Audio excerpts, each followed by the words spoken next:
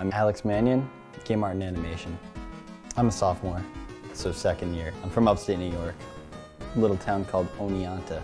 Fun fact though, uh, it was once mentioned in the show 30 Rock.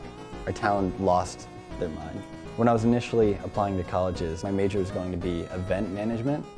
So I, I never thought I was going to do anything like that once I got accepted here for game art. But the first task I had as a lab tech was to plan last semester's fun event.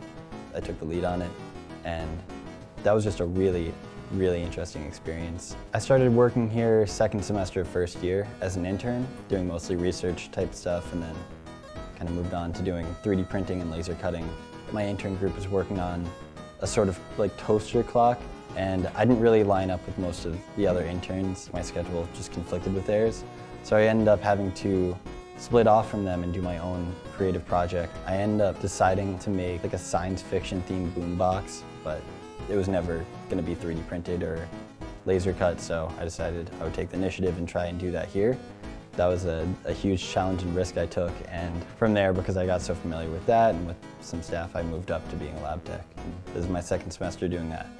People here really listen and really want to make a difference here and change things, so I normally get to do some pretty fun creative projects.